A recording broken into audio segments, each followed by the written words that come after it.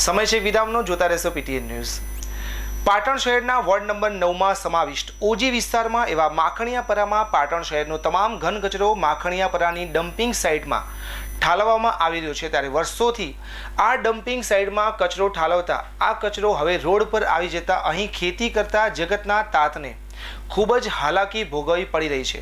જેથી માખણિયાના ઘન કચરાની જગ્યાએ કચરો રસ્તામાં આવી જતા ખેડૂતોને આવવા જવામાં ખૂબ જ મુશ્કેલી પડતી હોવાથી ખેડૂતો તરફથી ખેડૂતો તરફથી પાલિકાને આ કચરો રોડ પરથી ખસેડી લેવા રજૂઆત કરવામાં આવી હતી. જેના પગલે વોર્ડ નંબર નવના કોર્પોરેટર અને પાલિકાના શાસક પક્ષના નેતા દેવચંદ પટેલે અંગત રસ દાખવી જગતના તાતને પડી રહેલી મુશ્કેલીઓનું કાયમી નિરાકરણ લાવવા તાત્કાલિક હિટાચી મશીન મુકાવી ઘન કચરાને રોડ પરથી ખસેડી લેવાની કામગીરી કરવામાં આવતા.